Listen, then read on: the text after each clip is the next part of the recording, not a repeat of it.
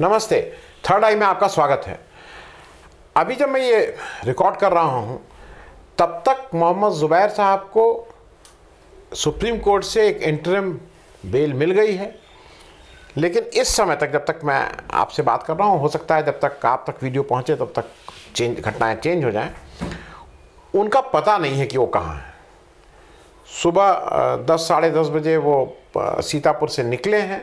उसकी कुछ वीडियो मतलब कुछ प्रेस वाले वहाँ खड़े थे, उन्होंने उसके पास फ़ोटो हैं। दस, साढ़े दस बजे उनको डिस्ट्रिक्ट जेल सीतापुर से निकाला गया उसके बाद वो कहाँ हैं, ये नहीं पता है।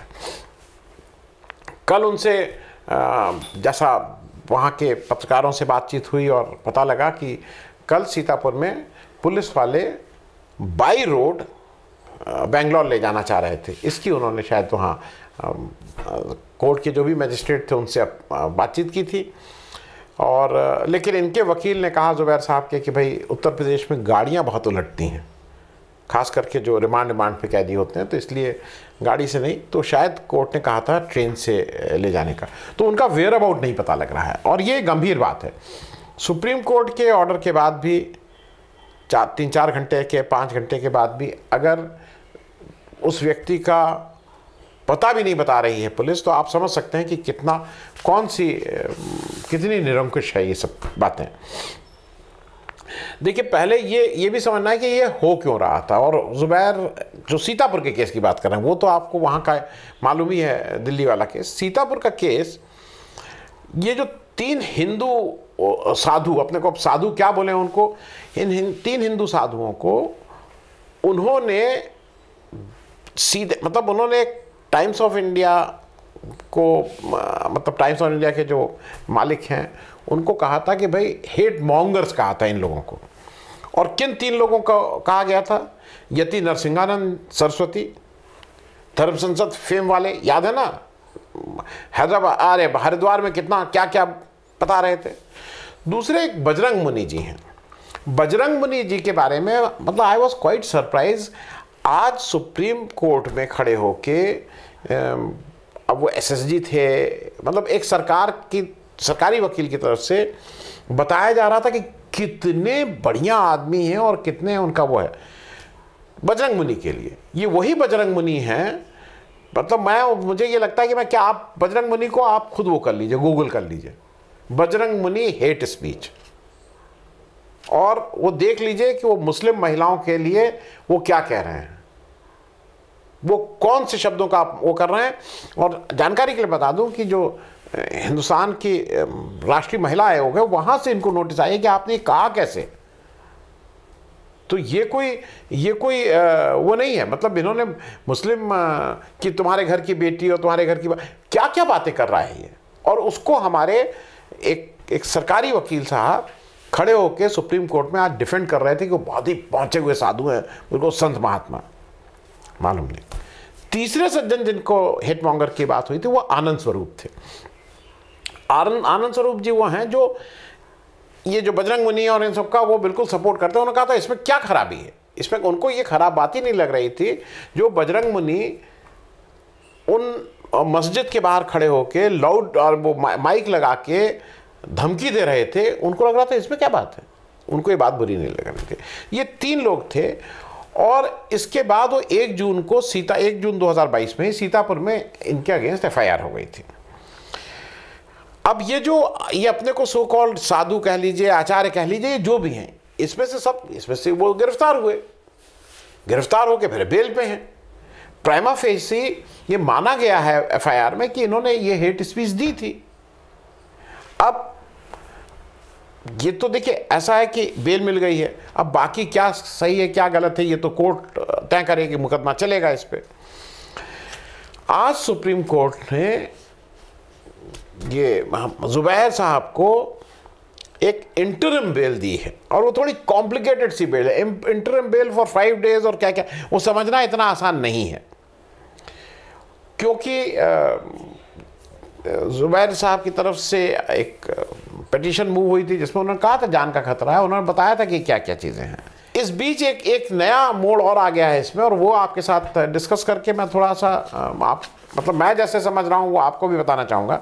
जर्मनी ने अपना कंसर्न दिखाया है कि ये जो जुबैर को लेके, और दे हैव सेड कि we are closely watching it और उन्होंने कहा है कि यूरोपियन यूनियन के जो बाकी देश हैं, उनके साथ भी वो संपर्क में हैं। अब इसके एक, दो तीन तरह के पक्ष हैं, दो तीन तरह की बातें हैं।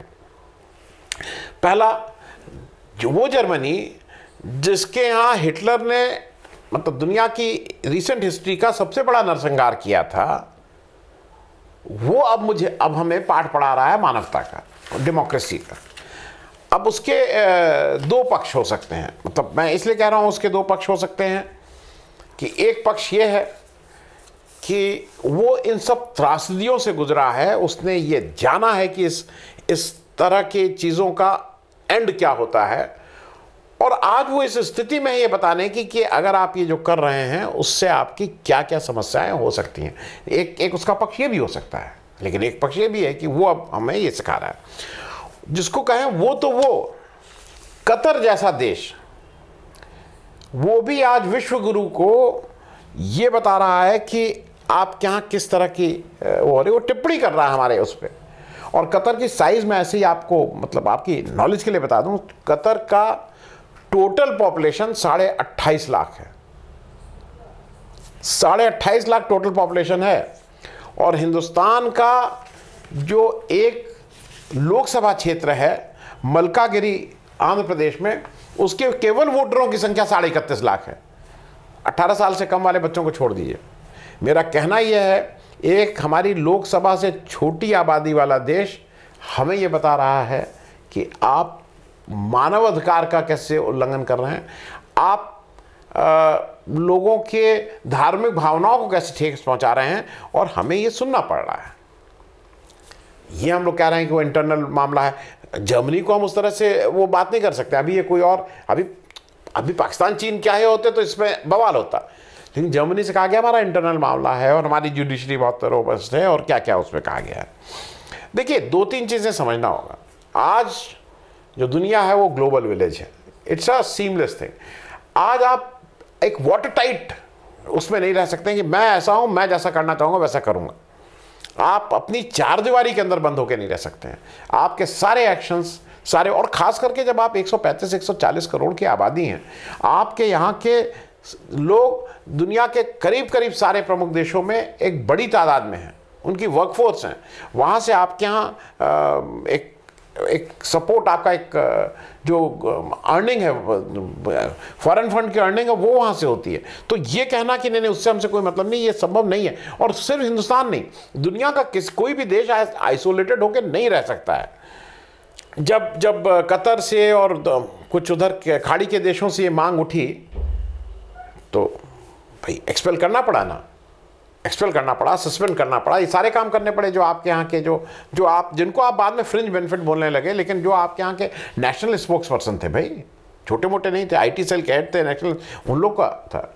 आपने आज फिर नेशनल एक, अपने आईटी सेल के उसको हटाया है। ये तो रोज़ की रोज़ की अब कहानी हो गई है। क्योंकि मैं एक चीज़ फिर से कहूँ आप, ये लगता है इस पार्टी को ना कि ये सिर्फ़ वोट का फ़ायदा होता है। दुनिया वोट के बियॉन्ड भी है। जैसे आप परीक्षा देते हैं ना, केवल परीक्षा में कितने अंक आ रहे हैं, वो हो सकता है कि आपको कोई नौकरी मिल जाए जाए लेकिन क्या केवल अंक आना ही किसी भी व्यक्ति का, किसी भी बच्चे का, किसी का भी, उससे आप ओवरऑल उसकी पर्सनालिटी उसको आप आप जज कर सकते हैं। दूसरा पॉइंट मुझे ऐसा लगता है, मेरा जो जो गट फीलिंग है, हालाँकि सरकारें बहुत, ये सरकार बहुत अनप्रडिक्टेबल है। ये नए नए कीर्तमान रोज बनाती है। लेकिन दूसरा पक्ष ये है कि अब मुझे ऐसा लगता है कि लोगों को जब ये ज़ुबैर वहाँ चले थे, बहुत इस तरह का ट्विटर पे भी देख रहे थे कि ज़ुबैर की जान को खतरा था, जो उन्होंने सुप्रीम कोर्ट में भी कहा। और एक जान तो ये कि दूसरा कहीं आके कुछ ऐसा ना कर दे, लेकिन कुछ स्टेट ने अपनी ये बना रखी है ना कि अगर हमारे यहाँ आओगे तो फिर तो हम ठीक कर ही लेंगे। और लोगों को इसमें आनंद आता है। आ, इसमें एक एक समानता मैं देख रहा हूँ कहीं से। जॉर्ज फर्नांडिस इमरजेंसी की बात कर रहा हूँ। एमर भाई क्योंकि आज कुछ लोग कहते हैं इमरजेंसी से भी बुरे हालात हैं। जॉर्ज फर्नांडिस इमरजेंसी में वो जब बड़ौदा डायनामाइट के बाद पकड़ लिए गए थे तो एक स्टेज ऐसे आई थी ऐसा माना जा रहा था कि उनको जेल में मरवा दिया जाएगा। इस तरह की बात थी। लेकिन फिर सोशलिस्ट इंटरनेशनल ने और ख़ास करके जर्मनी के विली ब्रांड, जो वहाँ के चांसलर थे, chancellor Bruno Kreisky of Austria and of Palme अगर आपको स्वीडन के प्राइम मिनिस्टर की याद हो, ये तीन लोगों ने दुनिया में मुहिम चलाई थी और जॉर्ज की जान, अगर इस तरह का था, जैसा जॉर्ज भी मानते थे हिंदुस्तान में चाहे कुछ कर ले, उनकी जान सुरक्षित थी। तो मैं मैं ये चीज़ इसलिए कह रहा हूँ कि अब चूँकि एक ये इंटरनेशनल इशू बन गया, बहुत आसान नहीं होगा। और एक मुझे अजीब सी चीज़ लगती है कि ये जब भी दुनिया के, जर्मनी तो कोई इस्लामिक देश नहीं है ना? जब भी इस तरह की बात आई है तो सोशलिस्ट इंटरनेशनल हो या जर्मनी हो या इस तरह के देश हो उन्होंने ये हिंदुस्तान में ये दिक्कतें जॉर्ज फर्नांडिस, अल्पसंख्यक। मोहम्मद ज़ुबैर, अल्पसंख्यक। मैं इसको यहीं छोड़ दे रहा हूँ, आपके विचार के लिए। बीच में आज एक और खबर आई है विच इज़ डिस्टर्बिंग मैं मैं ओवरऑल देश की एक हालात की आपसे चर्चा कर रहा हूँ। एक पर्टिकुलर तरह की एक स्टाइल की एक राजनीति दुनिया में बहुत से लोग कर रहे हैं, बहुत से लीडर हैं। नाम क्या लें? क्योंकि मालूम नहीं भैया, कहाँ क्या हो। ट्रंप साहब की एक राजनीति थी, क्या हुआ? किस तरह से लोग कैपिटल पे चढ़े और कहाँ कहाँ दौड़े और क्या किया, वो हुआ। बोरिस जॉनसन साहब को, बोजो बोजो जी का क्या हुआ? एक तरह की इनकी भी राजनीति, सब इवेंट मैनेजर्स बहुत अच्छा दुनिया में इधर दिखाना वहाँ और शिंजो आबे, जिनको आज जापान में गोली मार के उनकी हत्या हो गई है। कहना सिर्फ़ मुझे, मैं मैं जो कहना चाह रहा हूँ कि कुछ लोगों को, दुनिया के कुछ लीडर्स को ऐसा लगता है कि इस तरह की चीज़ें लोगों का ध्यान उधर चेंज करके इवेंट करके बड़ी बड़ी बात करके, यानी लोगों को रोटी की ज़रूरत है, लोगों को बेरोज़गारी, रोज़गार की ज़रूरत है। क्योंकि आज एक और चीज़ हाँ मैं इस को, कोर्ट की बात को पूरा कर लूँ। एक ध्यान और रखिएगा कि जो ये ज़ुबैर साहब को जो भी पाँच दिन का रिलीफ मिला है उसके जस्ट बाद रोहित रंजन साहब की पटिशन लगी हुई थी। और रोहित रंजन साहब की पटिशन उसके जज बात थी उनको रिलीफ भी मिल गई। उनको ये हो गया कि नहीं नहीं डीएनए ये जो केस है जिसमें ये सब मल्टीपल एफआईआर हो रहे हैं इसमें इनकी गिरफ्तारी नहीं होगी। डीएनए वाले केस में अगर आपको याद हो, जिसमें, उसमें स्टे लग गया है। सबसे बड़ी बात यह है कि सुप्रीम कोर्ट में ये रोहित रंजन जी ने जो अपनी प्ली ली वो ये ली है कि ये एएनआई से आई थी, ये जो राहुल गांधी की थी। हमारा एक ट्रेनी एडिटर था, उसने गलती से सब कर दिया। और जब ये फिर मेरे संज्ञान में आया तो हम लोगों ने इसको तुरंत ठीक कर दिया। आपने तुरंत अपने आप स्वतः ठीक किया था। वो सारे ट्विटर पे सारे वो हैं थ्रेड्स हैं भाई। आपके ऊपर कांग्रेस वालों ने चढ़ाई कर दी थी रात में। और उन्होंने कहा था कि वो आपको कोर्ट ले जाएँगे। आपने कोर्ट के डर से वो वो डिलीट किया अपना वो। आपने स्वतः नहीं किया था। तो ये सब ये सब, और आपने रात में नहीं किया था, आपने दूसरे दिन आके ये सब माफ़ी वाफी मांगी थी, जब आपने, को वकीलों ने समझाया होगा ये क्या कर दिया हो? क्योंकि आप एक गलत उसको, अब आप पाँच कह रहे हैं कि बाई मिस्टेक हो गया। आप बाई मिस्टेक किसी को कर देंगे। बाई मिस्टेक करी, जरा करने की हिम्मत तो देखिए आप भाजपा के किसी नेता की। हिम्मत करके दिखाइए कि ये मिस्टेक भाजपा के नेता के लिए हो जाए आपसे। तो आप भी अब आ जाएँगे डीएनए में तो अब आप तो जी टीवी के और बड़े पद पे पहुँच जाएँगे, आपका पैसा भी बढ़ जाएगा, आपका मान सम्मान भी बढ़ जाएगा। जरा एक बार कभी ऐसी गलती किसी भाजपा के नेता के लिए करके दिखाइएगा। अभी मैं इसलिए कह रहा हूँ कि यूपी पुलिस को जब छत्तीसगढ़ की यूपी पुलिस को भगा दिया गया, अरे यूपी पुलिस ने छत्तीसगढ़ की पुलिस से इनको लेके उनको भगा दिया, और उसके बाद इनको भगा दिया। छत्तीसगढ़ की पुलिस ने कहा भगौड़े हैं। और उसके बाद ये जब सुप्रीम कोर्ट जाते हैं तो आप एक चीज़ और सोच लीजिए उसी बेंच में ये ये केस भी लगा था। अब जुबैर का केस पहले था। अगर एक एक विचार करिए कि अगर ये, इनको ये रिलीफ दे देते जो रोहित रंजन जी को है, और जुबैर को रिलीफ नहीं देते तो क्या होता? इनको पूरी कंप्लीट रिलीफ दी गई है। जुबैर को कंडीशनल पाँच दिन की वो है। मैं इससे ज़्यादा नहीं कहूँगा। क्योंकि देखिए 2018 का जो जो इनका केस है जुबैर का दिल्ली वाला वो प्रूवन है वो वो कह रहा मैंने ये कहा था। उसने एक बार भी ये नहीं कहा कि मैंने मैं, मैं मुझसे गलती से हो गया वो हो गया। वो कहीं नहीं कह रहा है जो हमारे रोहित रंजन जी कह रहे हैं। एक सबसे ताजुब वाली बात है मैं उसमें शीतल जी एक हम लोगों के साथी हैं अच्छे पत्रकार हैं। उन्होंने एक चौंकाने वाली बात बताई। उन्होंने बताया है कि ये जो इनको जब पुलिस रिमांड दी गई वो तो चार दिन का क्यों दिया गया सबको पता था। एक उससे जब महत्वपूर्ण बात जब चार दिन के बाद इनको जुडिशियल कस्टडी दी जा रही थी तो डेढ़ से दो बजे के बीच में दिल्ली डीसीपी ने आके मीडिया के सामने बाइट दे दी कि ये ये ऑर्डर हुआ है। और इधर ये ऑर्डर नहीं हुआ था। साढ़े पाँच छः बजे तक, रोहित अरे जुबैर के वकील ये पूछ रहे थे कि अभी क्या हुआ क्या हुआ? कोर्ट ने जाके शाम को सात बजे ऑर्डर दिया है। लेकिन हु वही ऑर्डर जो डेढ़ से दो बजे डीसीपी साहब बता चुके थे मीडिया में बाइट दे चुके थे। ये भी सोचने वाली बात है। क्योंकि सीतापुर में आठ से चौदह, सात दिन की पुलिस रिमांड दी गई है। सुप्रीम कोर्ट ने मतलब बारह, सवा बारह बजे ये ऑर्डर, आ गया, सवा बारह, साढ़े बारह तक सबको आ गया था। सुप्रीम कोर्ट का ऑर्डर है।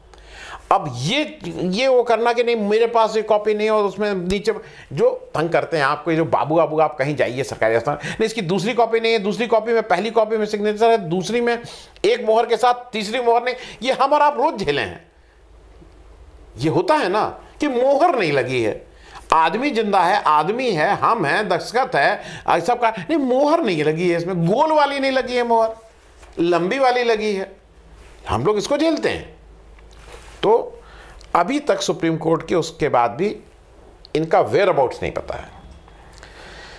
जो जो मुझे अफसोस ये भी होता है कि जो सॉलिसिटर जनरल साहब जो सरकार का पक्ष रखते हैं, वो पूरे तरह से आज सुबह वो जब अपोज कर रहे थे जुबैर के इस पिटीशन का तो जुबैर उसकी टेक्निकलिटी को इतना बता रहे थे, ये टेक्निकल नहीं, उन्होंने कहा, उन्होंने पुराना ऑर्डर नहीं किया। मतलब सात तारीख को दिन में जो बारह बजे कार्रवाई हुई थी, उसका बताया, लेकिन सात बजे की कार्रवाई का नहीं बताया तो ये किया मिसलीड किया इत्यादि एक शब्द भी वो सॉलिसिटर जनरल साहब ये नहीं कहे जब रोहित रंजन की पिटिशन आई कि साहब, बिना पिटीशन के आपने डेट लगा दी थी।